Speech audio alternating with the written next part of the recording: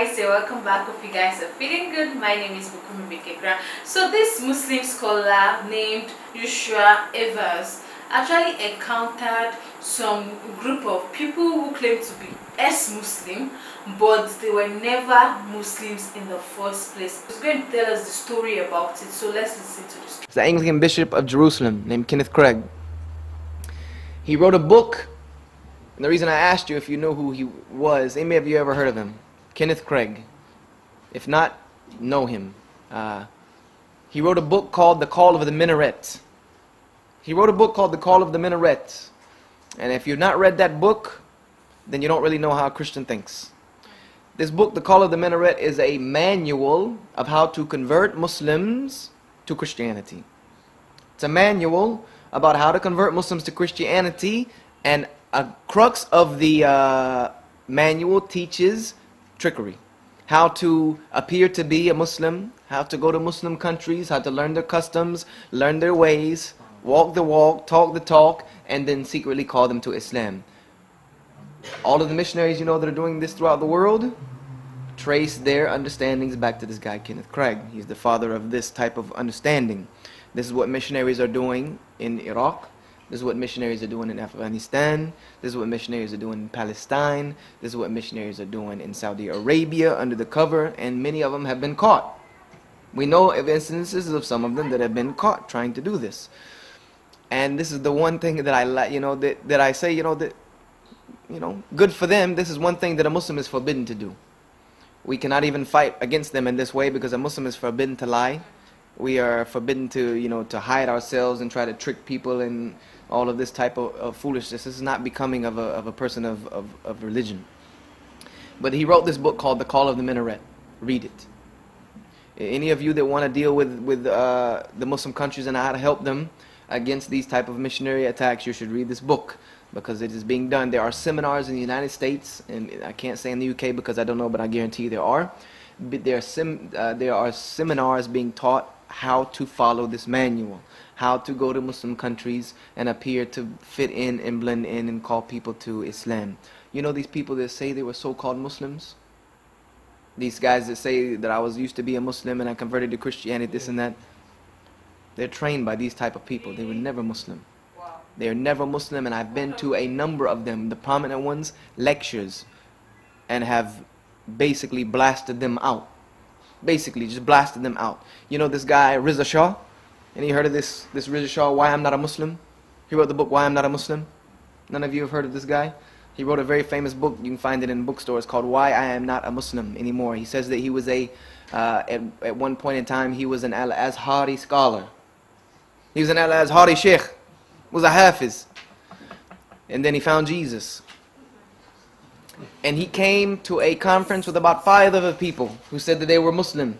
Grew up in Muslim homes and trained and all of this and because I had a I had a lecture called um, "How the Bible Led Me to Islam," and they went and had a lecture the next week, "How the Quran Led Them to Jesus."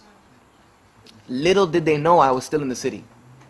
I was still in Houston, so I came to their lecture and I sit and I listened.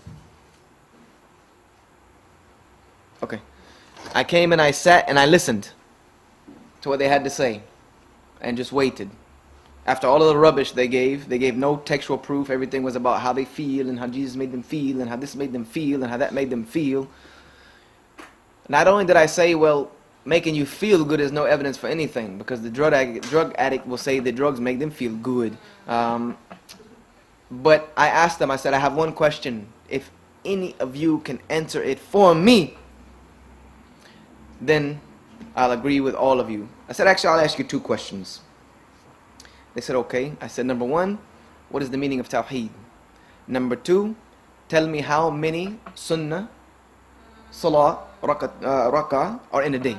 How many salah, sunnah should we pray in a day? I said, if you can't do that, then at least tell me what are the number of all the rakas, of all the, the fard salah in one day. You know how many of those they could answer? Zero. I said, so stop playing games with me.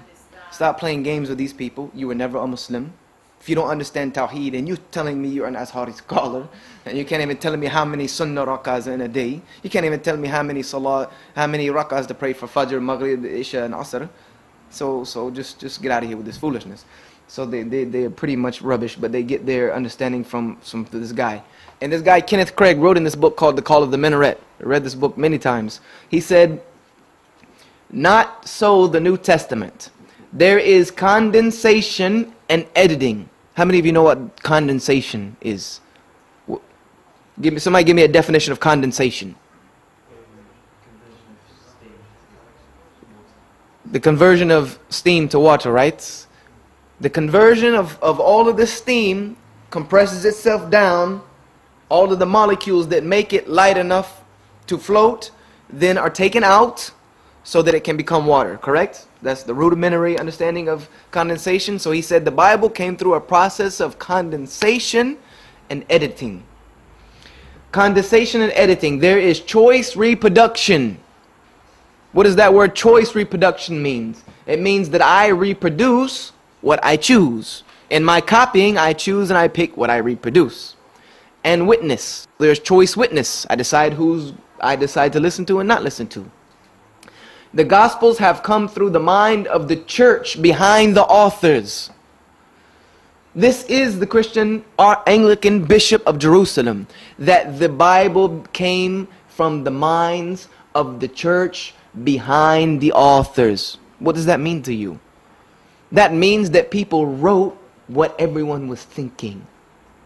They wrote what people inspired them to write what the church was believing, they made what they wrote fit into this.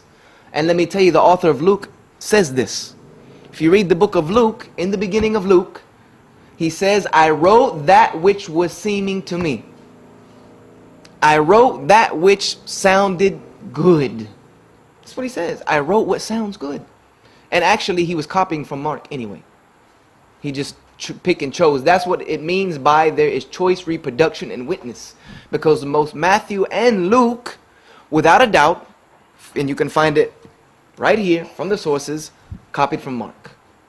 In a lot of places they copied verbatim. They sometimes in order you, you can't plagiarize Mark because then it's the same book. So what is one of the biggest tricks of plagiarism? What do you do? No, you copy and paste and you shuffle the arrangement. You shuffle the arrangement. This is what you find in Matthew and Luke. And then sometimes you change the wording so that it does not look plagiarized. But to anyone who knows plagiarism, they'll pick it up right away. And, and, and, and all of, almost all of the biblical scholars of Astute have said that Matthew and Luke are a plagiarism of Mark. And Mark was copying from a, a text we know as the Q, the Q document which does not exist anymore, but it's a reference that some of the early church fathers like Eusebius referred to, that they said Mark got his information. Wow. Hmm. Like, now I understand. Even though there are some people that fake to be an ex-Muslim, I think there should be some few people that also try to claim that they were, you know, a Christian before they became a Muslim. I love that I said the only way you can know if the, a person is a true believer of his religion especially Islam is when you ask them this important question in which non-Muslim can ever know in the Quran. And if they ask that question you cannot answer it. Then that's to say you were never a Muslim. So he was just trying to tell us why you know some people fake to, to claim that they were once a Muslim and they you know converted to Christianity. But I was really shocked when he said you know most people that actually claim to be an ex-Muslim and convert to Christianity uh, convert to Christianity most of them are charade. Most of them lied it was not true it's not real. But I don't think it's all of them. I'm sure there are some people that actually sincerely converted uh, um, back to Christianity from their from Islam. This if a lot of people keep converting to Islam, what stops Muslim from um, leaving Islam to Christianity? There are some that can might, that might decide to okay say okay this is the religion I want to be in. Uh, this is the reason why. Everybody have reason why they actually stick to a religion. You get it? So but that was a beautiful one beautiful one. Thank you so much for watching. I'll see you in the next one. Bye